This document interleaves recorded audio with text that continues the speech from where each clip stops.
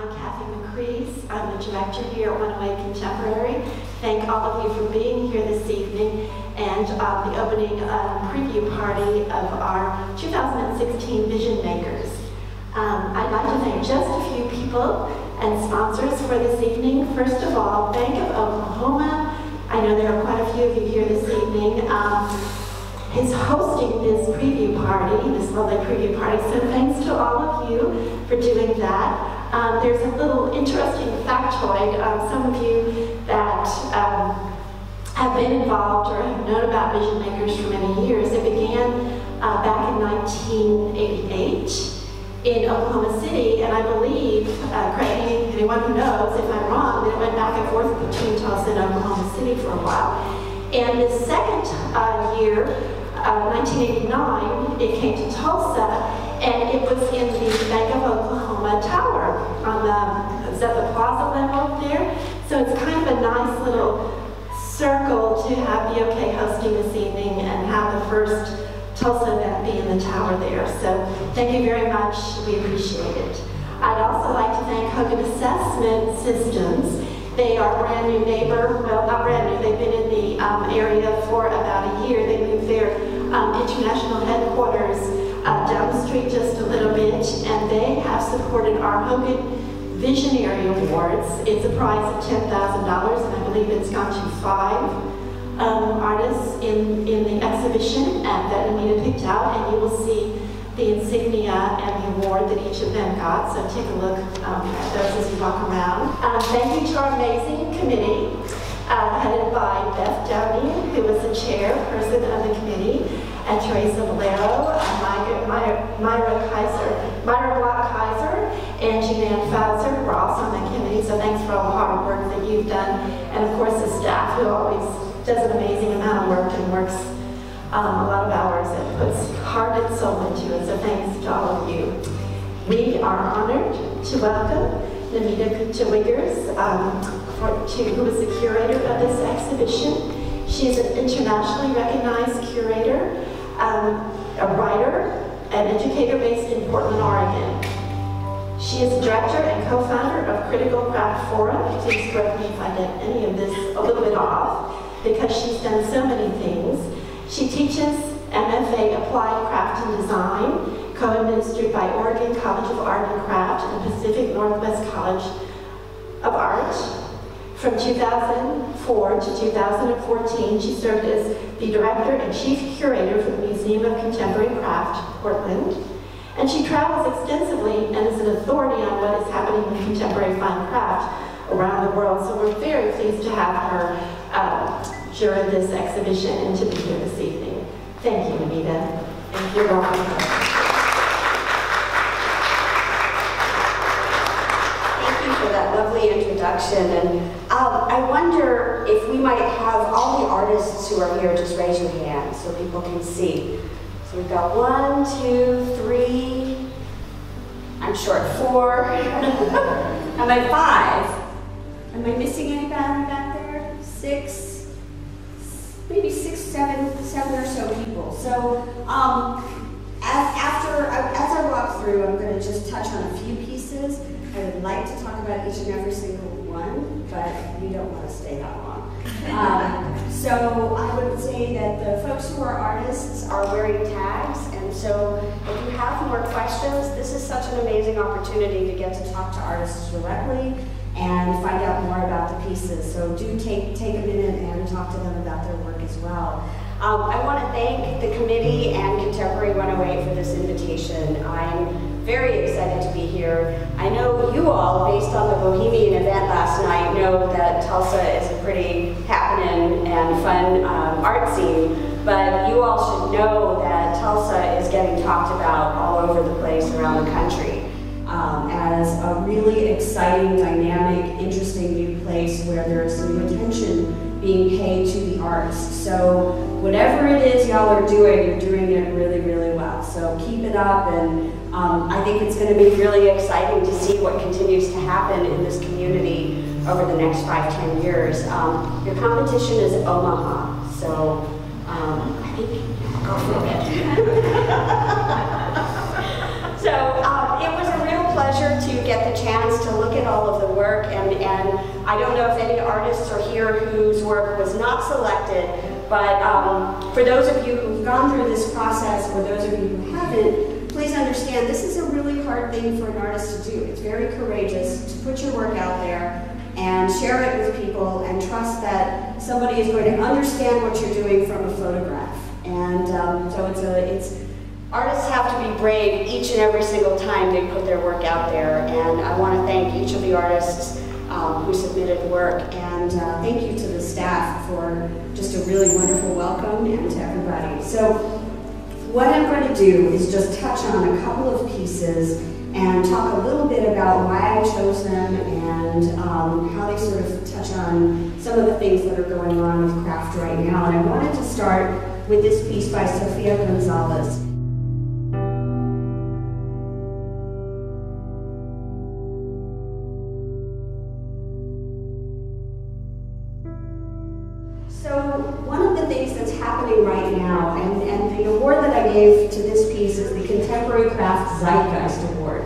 And the reason is because right now, there's a huge resurgence of interest in uh, natural dyeing techniques. And um, if you think about the life cycle of an object, you know, you can start, especially with craft, things start at the material level, right? It can start with metal that you, you pull out of the earth. It can start with dirt that comes from the earth that becomes clay that, that then you use to make pottery.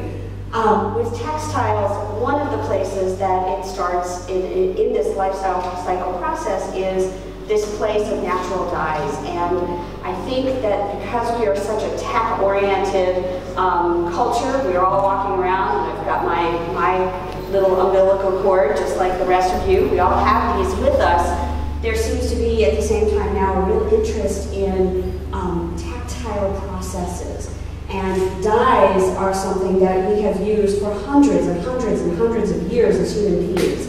So there's a really strong interest, and this piece to me, the reason I gave it the Zeitgeist Award is because it really speaks to something that's happening right now in contemporary craft and really in culture in, in general.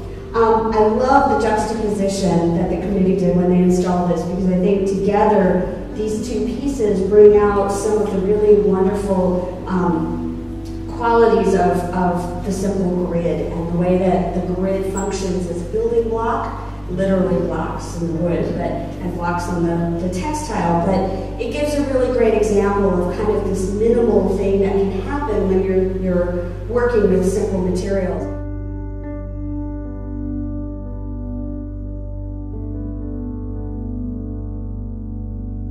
What I also really liked about this piece is it has a, we were speaking yesterday about how it has a very Louise Nevelson sort of feel to it. Paul Frankl is a furniture maker who also did some very interesting architectural kinds of pieces.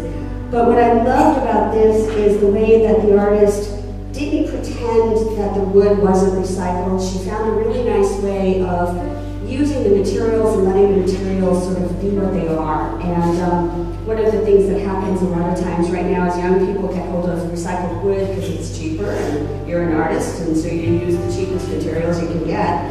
And they try to make it look brand new. And this doesn't pretend to be other, anything other than something that's put together to look and evoke a feeling of something that's been assembled and, and, and so forth.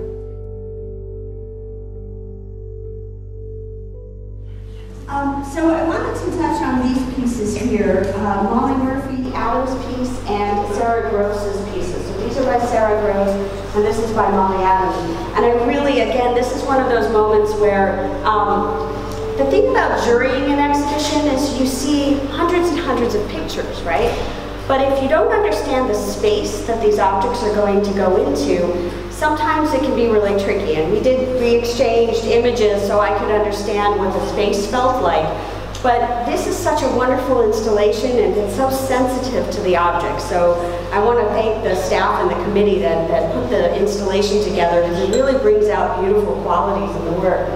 So these pieces are, um, they're very understated and very simple and kind of minimal. But the reason I selected them is they show how somebody really understands how clay is going to work. So those of you who work with clay know that if you don't know, if you don't know what you're doing, this is going to collapse, right? This is going to fall down. You really have to understand the material. And I think that this really, these pieces in particular show that, the way that, that um, you have to understand, it, it, they're designed in a way where you feel the air inside them, the space inside them, so that negative space is just as important as the form itself. The other thing that I really appreciated too is these days there's sort of this real unabashed love of ornament and pattern that is different than, say, in past decades. And what I really appreciated about these pieces is that they don't pretend that ornament and pattern and surface treatment is something that you have to like deny. They're simple, they're minimal, they're understated, but there's a lot of curves and ornamentation going on at the same time, and I really, really like that quality in them. Molly's work I've, I've seen before, and I really, I feel that, that um, her work operates in a, in a tricky area because it, um, I've been on panels that have been looking at Native American artists, and there's a tendency to try to figure out where to place her work and place work like this. I think the working over with the beads on photograph is a really powerful way of reinterpreting an image, a landscape, um, and bringing in other craft-based traditions other than kind of um, the ones that we would expect. Uh, you know, with all of our backgrounds and our history, it tends to be more European kinds of things. But I think that Molly does a really fantastic job of calling attention to the landscape, to beadwork, and also to this kind of interesting thing that happens in the United States where um, there's a push-pull between all the different kinds of ways that you can categorize an artist, and I think her work really brings that out quite a bit. Um, I really, I wanted to get your attention to the way that the grouping here calls your eye to surfaces and to the form of the vessel. You know, the shape of a vessel, the way that a vessel sits on a piece of, on, on this, this surface, this negative space here, the way that it, this comes up and the surface texture is there. I actually think that this necklace here looks more fantastic in real life than it actually looked in the photograph. And I think part of it is because of the juxtaposition with those vessels there, it really brings out all those surface qualities. That's the thing about craft that is different from other kinds of visual arts. You've got this graphic surface, right? You've got this form, this big solid shape. It's an interesting silhouette. But when you come up close, you get rewarded by something else going on at the surface. And that's what I think that this grouping really, really brings out. And um, from the small to the large to the really, really large with Max's piece. Max is someone who um, is a younger artist. He's someone who I guess, I hate these terms, but I guess you could call him emerging because he's not been working quite as long. Um, but he is, uh, he won a fellowship from the Windgate Foundation, which is one of the foundations that has, um, if it wasn't for the Windgate Fellowships and the Windgate Foundation, uh, you wouldn't be seeing a lot of the resurgence in craft that we've seen over the last 10 to 15 years. So uh, they really have done a lot to support artists. And Max is a great example of a younger artist who is trained in sculpture and he understands kind of the, um, the questions that you're taught when you're studying in an art school, but he combines that with other kinds of traditional craft forms in his case, he studied puppetry in India, and he's bringing together all of this understanding of piecing things together and taking something that seems lifeless and animating it and bringing it to life. And I felt this was a really great example of his work, um, but also a really great example of combining these different forms of um, communicating through objects, and it really comes through with this. So this is the piece, uh, these are the three pieces together um, that I awarded the, uh, the uh, show to. They are by Lynn Stanionis, and she is from Kansas. Oh, and I don't know if you all know, did you know that this is the first time this is the first time that the uh, that there were seven states, right? This is the first time that it's been expanded into a seven-state region. So you're getting a sampling from seven different parts of the country, which is pretty amazing to get to see in one state. Um, so the reason that I gave this the best of show is These pieces are spectacular. You come up and stick your nose close, don't touch. Put your nose in there and see the construction that has gone into these pieces. They are absolutely exquisitely made.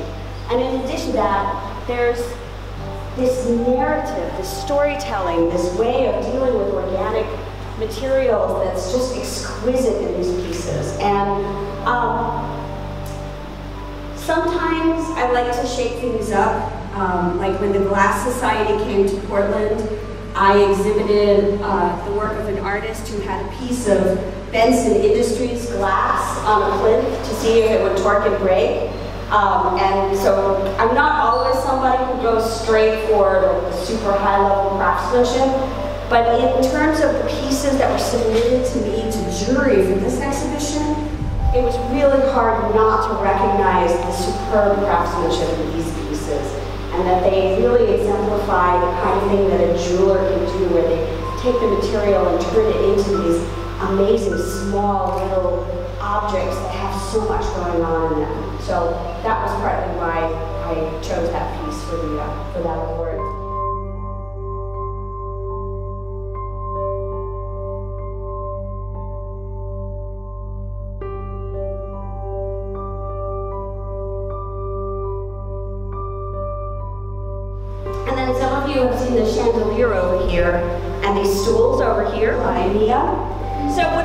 Appreciated about Mia's work was, um, I mean, we all know concrete, right? We're standing on concrete.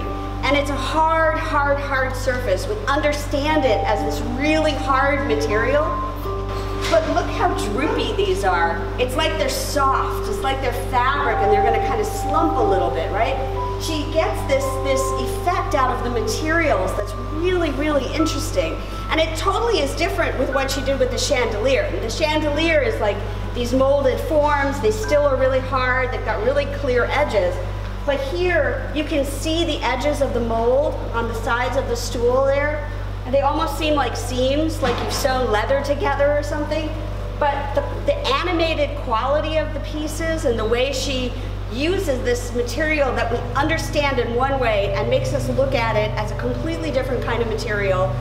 That's what understanding materials and knowing how to use your hands, that's what comes out of craft, is that really deep material knowledge and ability to kind of make you think about materials in a different sort of way. So that was what impressed me about those pieces. And the last piece I'm going to talk about is this piece by David. I like that this is juxtaposed with this because this is jacquard loom weaving.